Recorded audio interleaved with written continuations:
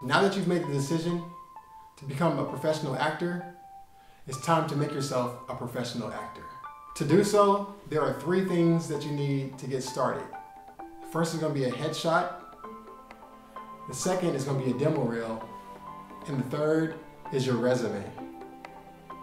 Let's start with your headshot. Your headshot is going to be your most important tool as an actor. Reason being is because that's where your casting journey begins. When a casting director gets hired to cast a scene, they make a breakdown of the overall project. Within that breakdown, there's something called a character breakdown, which includes a description of the characters that they're casting for. The description includes the role of the character, the character's gender, the type of role, is it a lead, supporting, co-star, ethnicity of the character, age, and some of their personality traits. From there, these breakdowns are sent out to talent agents and managers, as well as uploaded to popular casting sites. As a casting director starts to get submissions, the first thing that they look for is the headshot. They get the headshot just to do a brief scan of the actors, to see if they see anything that matches up for the character that they have to cast for.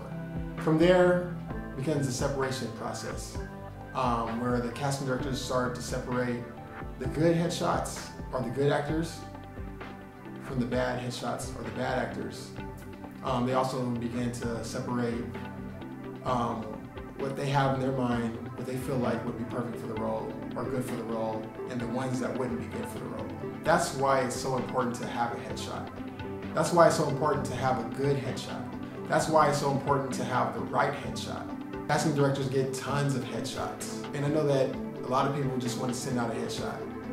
They don't know the difference between what they should do for their theatrical or their commercial. They feel like as long as they're being seen, then they should send that out.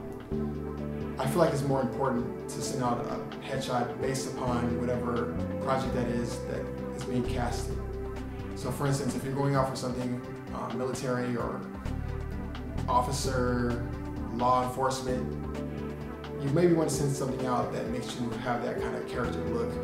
Feel it's important that the headshot matches what it is that the casting director is looking for for that project. Don't just send any headshot. Make sure it's the right headshot. You want to make sure that your headshot catches the eye of that casting director with just a glance. You should click the link below to learn more about what the right headshot is. Your headshot should be role specific or close enough to fit the description of what it is the casting director is casting for. It should be able to show the casting director that you're able to take on the role in which you are submitting for.